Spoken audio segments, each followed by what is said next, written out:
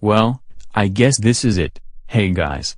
Mega Man and Sonic Rules established 2000 here, and I have very sad news to all the people who use Google+.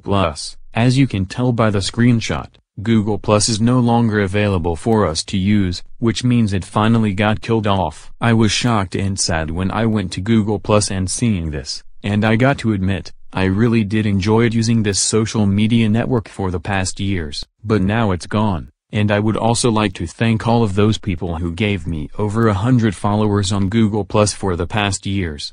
It really means a lot to me. Anyways, that's all I would like to say.